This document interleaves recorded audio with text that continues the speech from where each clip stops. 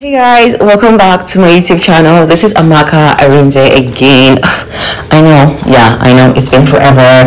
Don't judge me. I have no excuses. But you know what? I recently moved into a new apartment and I was like, this would be a perfect opportunity to get back into YouTube.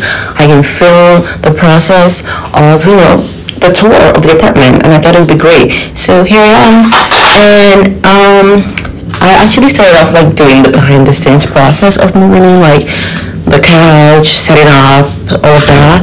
But and then I realized that nobody really wants to see that. Everyone wants to just see like the actual apartment, the final stages. Nobody wants to see behind the scenes. So knowing that, let's get right into it.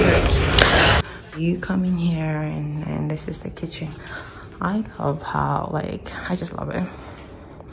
It's cute and then this is the sitting room. Also i got the table from facebook market actually.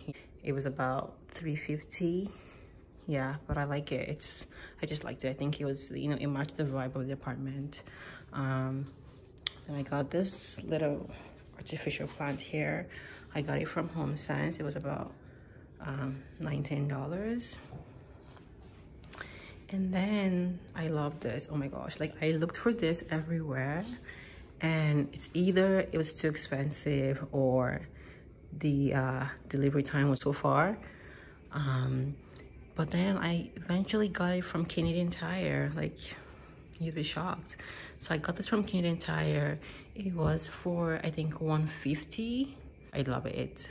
It's so like it's perfect. I'm gonna replace the base um but yeah for now it, it works. And then uh i love the tv like the size. I think this is 55 inches.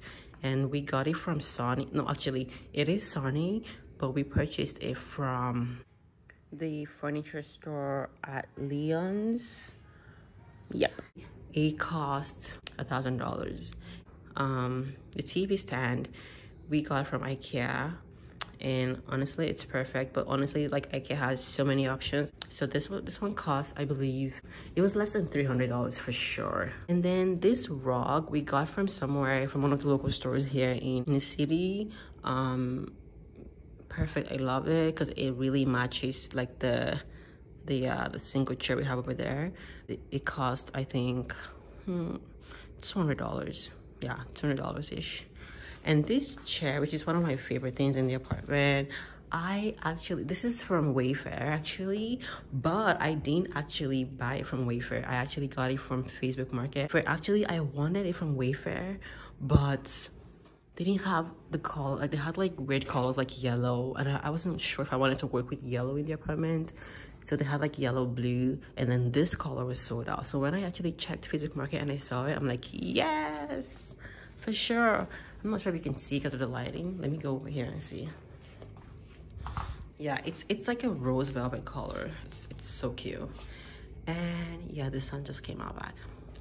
So well, so these artwork here, oh, I just got this. I got it from HomeSense. Originally, it was priced at like $200. I saw the price reduction from like 200 to like 150 and I finally got it at $70. So I'm like, yeah, this is a steal. I'm taking it, I love it. What else? The couch. Duh. So this couch we got from Leon's as well. I remember thinking, oh, this may be too small, but it turned out to be perfect.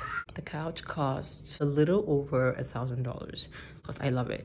And honestly, I got the warranty for like stains because I have a toddler that maybe made everything go up to like a thousand five hundred dollars plus tax and everything, including tax rather.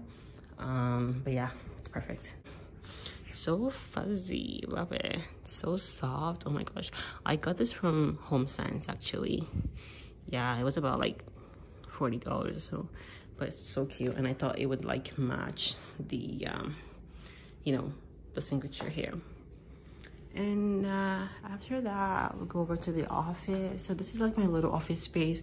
I want to do some things to the wall and you know but i'm not i've not figured that out yet. But like honestly i got this chair from one of the furniture stores in like toronto.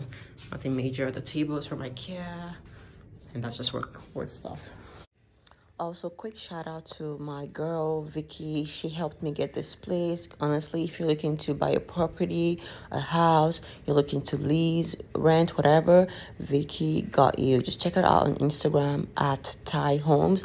I'll put um her Instagram name on the description box. So my husband and I have been debating over like putting stuff over the TV. See how there's like a lot of space there?